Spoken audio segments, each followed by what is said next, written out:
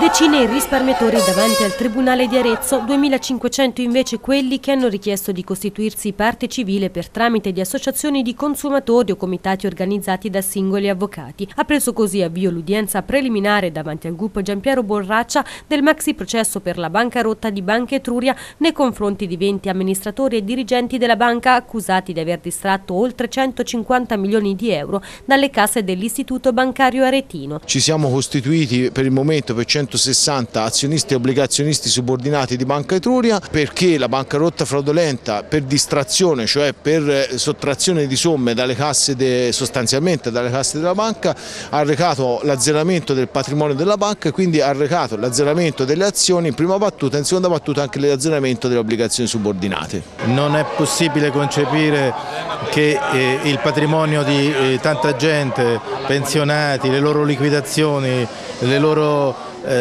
riserve che avevano accumulato dopo tanti anni di sacrifici vengano depauperate in questo modo. Noi vogliamo giustizia perché queste persone ci hanno derubato dei nostri risparmi. Un'udienza breve durata circa un'ora e a porte chiuse che si è conclusa con il rinvio al 12 ottobre e la calendarizzazione di sette udienze che si svolgeranno tra ottobre 2017 e gennaio 2018. La prossima udienza avrà proprio ad oggetto le eccezioni e le repliche alle eccezioni in ordine alla legittimità e ammissibilità delle costituzioni di parte civile. Anche il Comune di Arezzo, come annunciato questa mattina dal sindaco Alessandro Ghinelli, chiederà di costituirsi parte civile. Il danno che la città ha subito per il crack di Banca Etruria è un danno elevato, elevatissimo.